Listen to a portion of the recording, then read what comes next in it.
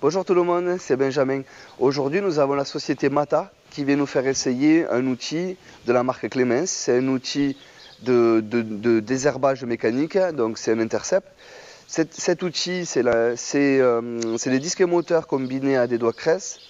Tous ces outils n'ont besoin d'aucune hydraulique ni quoi que ce soit pour fonctionner. Ils fonctionnent juste avec l'inertie du tracteur.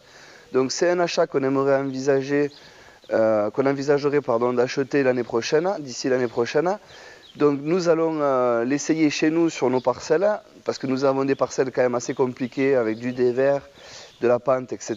Donc on a vraiment envie de les, essayer chez nous sur notre propriété.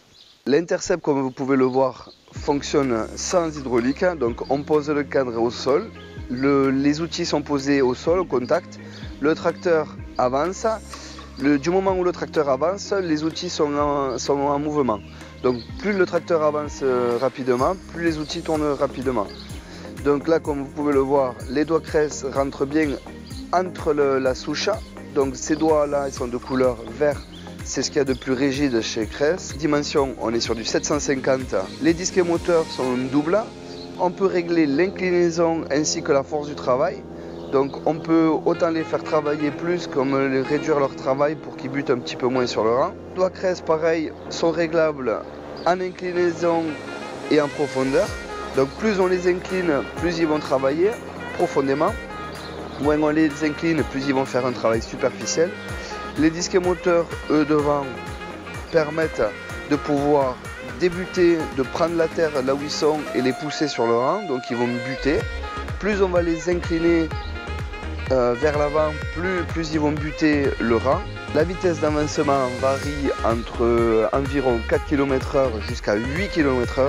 Donc c'est quand même un outil qui se passe avec, euh, avec n'importe quel tracteur vu qu'il n'y a pas besoin d'hydraulique.